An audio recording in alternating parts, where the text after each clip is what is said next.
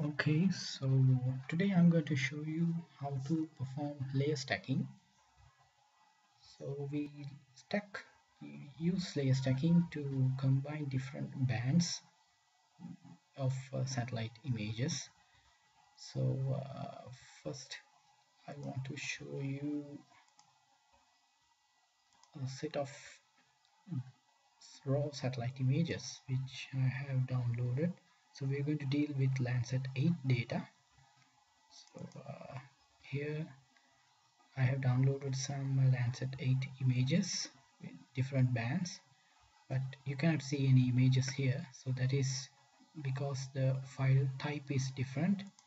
So we'll change the file type to TIFF there you can see Landsat 8 has from bands 1 to band 11 so uh, you can see all the bands are in TIFF format. And uh, during layer stacking we have to select whatever the bands we want based on the output. So uh, I just wanted to show you the different bands uh, that Landsat 8 has band 1 to band 11 okay now we are going to perform the layer stack to perform layer stacking we have to go to raster spectral layer stack. To get a dialog box like this you have to give the input files or the input bands. So click here we go to the destination and uh, open the different bands. And we have to select each band separately and add it. And so first band 1 okay click on add. Then again band 2 you have to add the bands according to the their uh, order. So first I added band 1 then band 2 click on ok add. Band 3 okay add. Band 4 okay add. Band 5 add. Band 6 band 7 okay now I have added from band 1 to band 7 I won't be adding band 8 because that is panchromatic I wanted to create a multispectral image.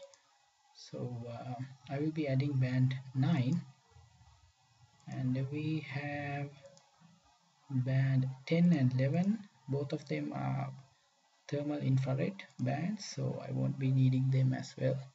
So basically I have added from band 1 to band 7 not band 8 but band 9 so I have omitted band 8 10 and 11 okay and you can have a check to see whether you have added all the bands here.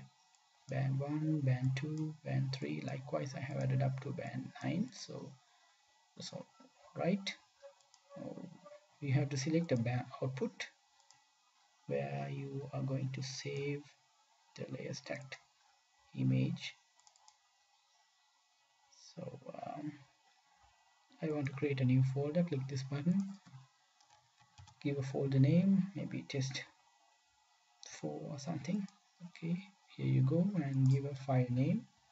Stack test. Okay so you don't have to change much here. It's input unsigned 16 bit. Output is also the same no change here but it's better to tick this ignore zero in stats. That is because uh, sometimes if you don't tick this and perform layer stacking sometimes you may get an unclear image. So ticking this will give you a better output a clear image. So that's all we have to change here. So click on ok now you find a box that appears here it is showing the layer stacking in process. It won't take much time. Usually we perform layer stacking based on the number of bands we need. We can omit whatever the bands we don't need so that's why I omitted the band 8 that is panchromatic and bands 10 and 11 which are thermal infrared.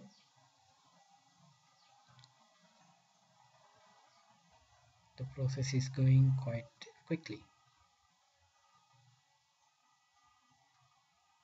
Based on number of bands you are assigning or adding to perform the layer stacking the time duration will vary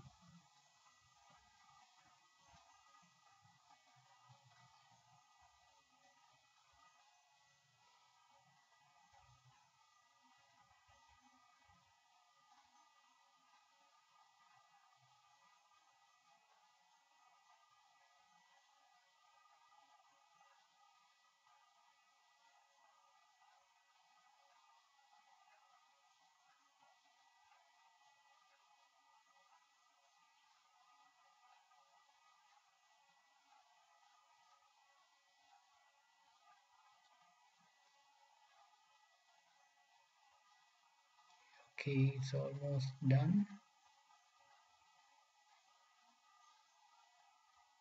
Yes it's finished done. So uh, you can close this. Now layer stacking is over. Now we have to open the layer stacked image. So go to file open raster layer.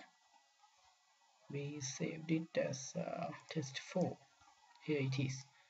It's automatically the file type is in .img format. So you can see the layer stacked image.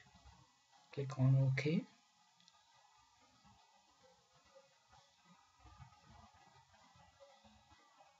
Alright, now uh, the layer stacked image is opened but you cannot see it on the viewer but you can see that it is open so to view the layer stacked image go to home click this button fit to frame. And uh, okay so uh, here you get the layer stacked image. You can use this uh, my metadata option here to uh, get some information about uh, the layer stacked image. So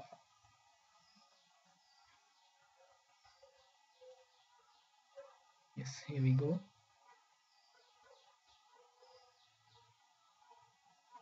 This image metadata stack. Here you can see you can view the metadata layer wise. We you know that we have added layers eight layers. So we can view the metadata belonging to each and every layer. So uh, can view the histogram as well and several other information data. Okay my main intention was to show you how to perform layer stacking.